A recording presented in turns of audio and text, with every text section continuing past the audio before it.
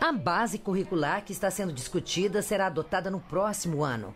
Mais de 28 mil escolas públicas e particulares de ensino médio e cerca de 510 mil professores discutem e avaliam a proposta que está em análise no Conselho Nacional de Educação. Você ter uma consulta ouvindo e trazendo para o debate elementos importantes para a avaliação do Ministério da Educação, mas especialmente também do Conselho Nacional, eu acho que é, é por demais importante e muito apropriado para o momento. E o foco é o aluno, o ator principal dessa proposta de mudança e atualização do ensino médio.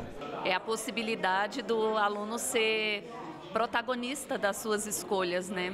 Ele pode formatar o seu currículo por, por área de interesse, de acordo com, com a profissão que ele quer seguir no futuro e e isso deixa é, o ser humano mais motivado, porque ele escolheu fazer aquilo, ele tem compromisso com a escolha dele. A ideia é levar a vivência do dia a dia em sala de aula para a base curricular e rever os conteúdos num mundo cada vez mais digital. Nós precisamos pensar que uh, o acesso à informação que nós tínhamos antigamente era diferente né, de hoje. E isso provoca também uma mudança na forma de linguagem, a forma que esse adolescente se comunica.